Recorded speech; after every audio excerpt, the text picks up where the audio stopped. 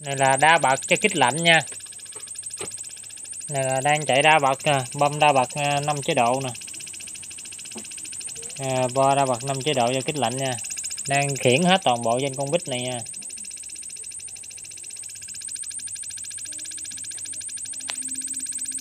À, bây giờ đổi chế độ nha.